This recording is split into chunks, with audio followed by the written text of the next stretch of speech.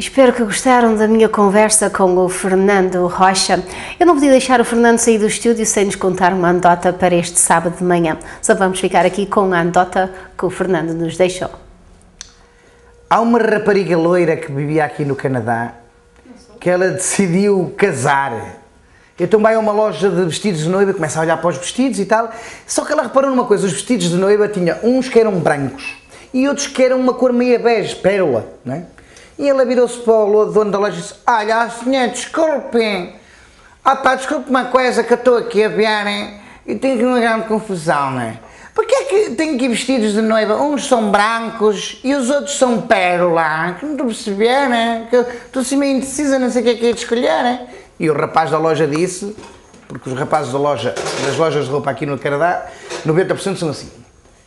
Bom, eu vou lhe dizer, querida. Se a senhora for virgem, se nunca praticou o ato sexual, a senhora deve e pode ir com vestido branco.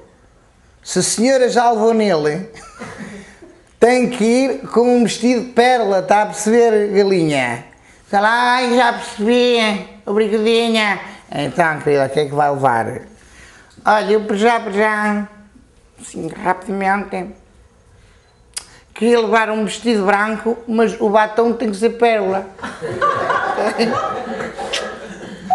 Obrigado a todos. Até logo. É engraçado. É bom rir, realmente é muito bom rir. E espero que deixemos a, os nossos telespectadores a rir neste sábado de manhã, dia 24 de abril, com a presença dos nossos convidados, a Dudu Santos, assim como também do Fernando Rocha. E, e esta andota. O meu batom é cor-de-rosa já agora. Quero informar a todos, não sei se veem bem aí na, na sua televisão, mas o meu batom é cor-de-rosa. Foi um prazer conhecê-lo pessoalmente e tê-lo aqui no nosso estúdio e vamos, estamos a chegar ao fim do programa Gente Nossa, eu só quero lembrar a todos os amigos telespectadores que temos mais programa Gente Nossa para a semana. E amanhã temos então uh, o último programa de Discover the Azores My Secret Paradise, que foi um programa que foi patrocinado pela SATA uh, Internacional, assim como também a Direção Regional do Turismo, através da ATA, uh, que é um departamento do Governo Regional dos Açores, que nos contratou, em particularmente aqui gente TV Productions e a Nelly Pedro para ser a apresentadora do programa e o César Pedro, que tem feito um excelente trabalho com as imagens que a gente conseguimos apresentar durante três semanas neste programa.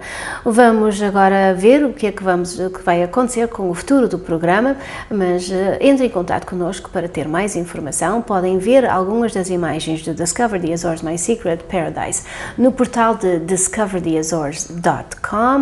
para reverem algumas das cenas que apresentamos durante 13 semanas. Quero agradecer imenso ao Executive Director da SATA Express aqui em Toronto, o Sr. Orlando Medeiros, por a sua confiança que teve na equipa de gente da nossa na produção deste programa.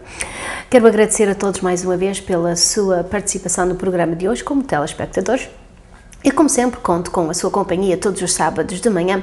Entre em contato connosco se faz planos em viajar no mês de julho para a ilha de São Miguel, participar também nas festividades de, das festas do Espírito Santo da cidade de Ponta Delgada, assim como também nas outras excursões que temos a organizar. Um beijinho, bye bye, até para a semana. Uma boa semana a todos. Serviço de cabeleireira e estéticos fornecidos por Preve Spa e Hair Studio, 1069 College Street.